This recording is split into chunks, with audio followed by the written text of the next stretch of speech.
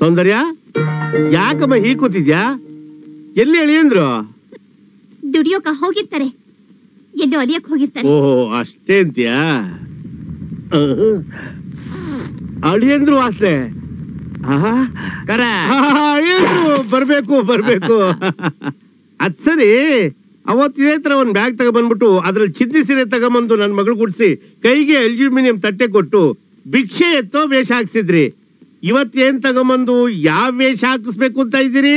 ನೋಡ್ರಿ ಒಂದು ಕೋಟಿ ರೂಪಾಯಿಗೋಸ್ಕರ ನಿಮ್ ಕಂಡೀಷನ್ ಪ್ರಕಾರ ನೀವು ಹೇಳಿದ ವೇಷ ಎಲ್ಲ ಹಾಕಿದ್ದಾಯ್ತು.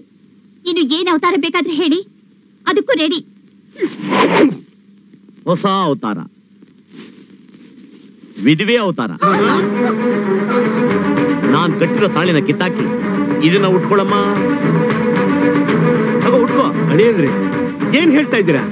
ಏನ್ ನಿಮ್ ವಿಚಿತ್ರವಾದ ಆಸೆ? ವಿಚಿತ್ರ ಅನ್ನೋಲ್ಲ ವಿಚಿತ್ರ ಅನ್ನೋಲ್ಲ. ನೋಡಿ, ನನ್ನ ಒಂದು ಕೋಟಿ ರೂಪಾಯಿಗೋಸ್ಕರ ಮೂವತ್ತು ಇವಳು ಒಳ್ಳೆ ಹೆಂಡತಿ ಆಗಿರ್ಲಿ ಅಂತ ನಾನು ಆಸೆ ಪಟ್ಟೆ ಇವಳಿಗೆ ಗಂಡ ಬೇಕಾಗಿಲ್ಲ. ದುಡ್ಡೇ ಮುಖ್ಯ. ಅಂದಮೇಲೆ ಇವಳಿಗೆ ಮುತ್ತೈದೆ ಅವತಾರ ಯಾಕೆ ಬೇಕು? ಈ ವಿಧವೆ ಅವತಾರನೇ ಕರೆಕ್ಟ್ ಹೌದಮ್ಮ. ಅಂದ್ರೆ ಮಾತು ನೂರ್ ನೂರ್ ಸತ್ಯ.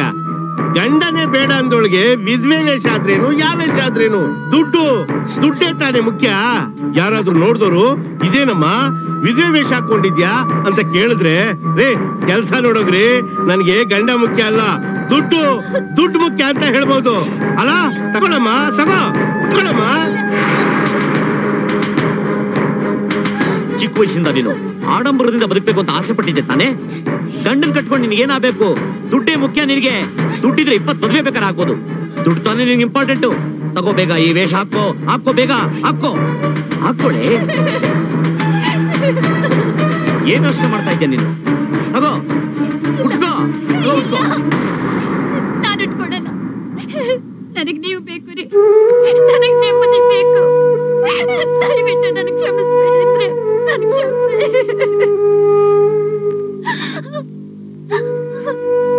ದಯವಿಟ್ಟು ಬೇಡ. ನೀವು ಬೇಕು ಅಯ್ಯೋ ಹುಚ್ಚಿ ಆ ಹಣ ಯಾವತ್ತಿದ್ರು ನಿಂದೇನೆ. ನಿನ್ನ ಬುದ್ಧಿ ಕಲಿಸ್ಬೇಕು ಅಂತ ನಾನು ಈ ರೀತಿ ನಾಟಕ ಮಾಡಿದೆ ಅಷ್ಟೇ.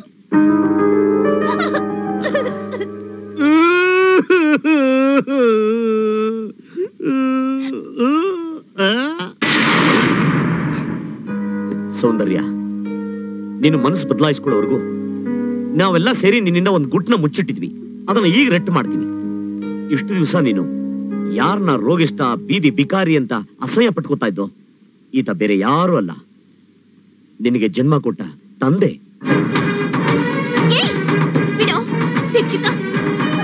ಮಗಳೇ ನಾನು ಭಿಕ್ಷುಕ ಅಲ್ಲಮ್ಮ ಭಿಕ್ಷುಕ ಅಲ್ಲ. ಭಿಕ್ಷುಕ ಅಲ್ಲದೆ ಇನ್ನೇನು? ನಮ್ ತಂದೆನಾ? ಮತ್ತೆ ಇವರು? ಇವರು ನಿನಗೆ ಜನ್ಮ ಕೊಟ್ಟ ತಂದೆ ಆದ್ರೆ ಅವರು ನಿನ್ನ ಸಾಕಿದ ತಂದೆ. ಹೌದಮ್ಮ. ನೀನ್ ಚಿಕ್ಕ ಮಗು ಆಗಿದ್ದಾಗ ನಿಮ್ಮಮ್ಮ ಒಂದು ದಿನ ಆ ಪ್ರಸನ್ ಕುಮಾರ್ ಮತ್ತೆ ಅವ್ರ ಹೆಂಡತಿ ಹೇಗಿದ್ರು ಈಗ ಸತ್ತು ಹೋಗಿದ್ದಾರೆ. ಸಾಯಕ್ ಮುಂಚೆ ಅವ್ರ ಆಸ್ತಿನೆಲ್ಲ ನನ್ನ ಹೆಸರಿಗೆ ವಿಲ್ ಮಾಡಿರೋ ತರ ಡೂಪ್ಲಿಕೇಟ್ ಡಾಕ್ಯುಮೆಂಟ್ ರೆಡಿ ಮಾಡಿ ಎಲ್ಲ ಆಸ್ತಿನೂ ನನ್ನ ಹೆಸರಿಗೆ ಟ್ರಾನ್ಸ್ಫರ್ ಮಾಡ್ರಿ. ಆಮೇಲೆ ನಾವಿಬ್ರು ಸಾಯವರೆಗೂ ಸುಖವಾಗಿ ಬಾಳ್ಬೋದು. ನೋಡ ನಾವು ಸಂಪಾದನೆ ಮಾಡಿದೆ ನಮ್ಗೆ ದಕ್ಕಲ್ಲ. ಅಂತದ್ರಲ್ಲಿ ನನ್ನನ್ನ ಓದಿಸಿ ಲಾಯರ್ ಆಗಿ ಮಾಡಿ ಬಾಳೋದಕ್ಕೆ ಒಂದ್ ದಾರಿ ತೋರಿಸಿದ ಆ ದೇವರಂತ ಮನುಷ್ಯನಿಗೆ ನಾವು ಮೋಸ ಮಾಡದ? ಹೌದ್ರಿ ತಪ್ಪು.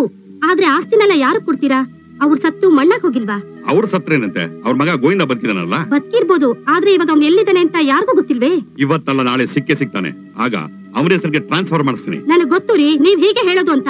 ಸಾಯವರೆಗೂ ಬಿಕಾರಿ ಹಾಗೆ ನಿಮ್ ಜೊತೆ ಬಾಳಕ್ಕೆ ನಾನ್ ತಯಾರಿಲ್ಲ. ಇವತ್ತಿಂದ ನಿಮ್ಗೂ ನನ್ಗೂ ಯಾವ ಸಂಬಂಧ ಇಲ್ಲ. ನಿಮ್ ಮಗಳನ್ನ ನೀವೇ ಇಟ್ಕೊಳ್ಳಿ ಗುಡ್ ಬೈ ನಾಗಲಕ್ಷ್ಮಿ. ಆಮೇಲೆ ನಿನ್ನ ಈ ಪುಟ್ಲಿಂಗು ಕೈಲಿಟ್ಟು ಬಿಸ್ನೆಸ್ ಮೇಲೆ ಹೊರದೇಶಕ್ಕೆ ಕೊಟ್ಟೋದೆ ಅಲ್ಲಿ ನಾನು ಸಂಪಾದನೆ ಮಾಡಿದ ಎರಡು ಕೋಟಿ ರೂಪಾಯಿ ತಗೊಂಡು ನಿನ್ನ ನೋಡ್ಬೇಕು ಅನ್ನೋ ಆಸೆಯಿಂದ ಇಲ್ಲಿಗೆ ಬಂದೆ. ಆಗ ನಿನ್ನ ಅವ್ರು ಮುಟ್ಟಿದ್ರು ಅನ್ನೋ ಕಾರಣಕ್ಕೋಸ್ಕರ ನೀನ್ ಅಸಹ್ಯ ಪಟ್ಕೊಂಡು ಅವ್ರನ್ನ ಬಿಕಾರಿ ಅಂತ ಬೈದೆ.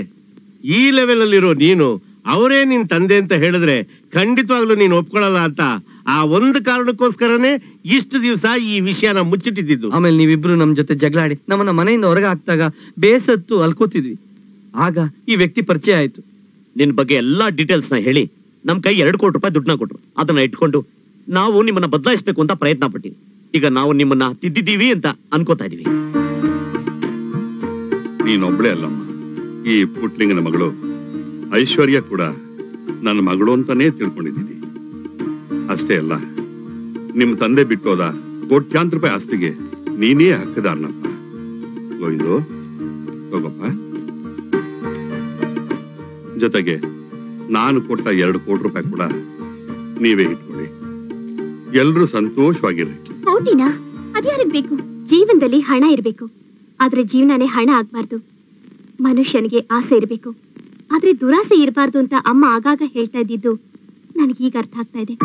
ಹಣಕ್ಕಿಂತ ಮಾನ ಮರ್ಯಾದೆ ಸಂಸ್ಕಾರ ಪ್ರೀತಿ ಪ್ರೇಮ ಇದೇ ಅತಿ ಮುಖ್ಯ ಅಂತ ನಾವು ಚೆನ್ನಾಗಿ ಪಾಠ ಕಲ್ತ್ಕೊಂಡ್ವಿ.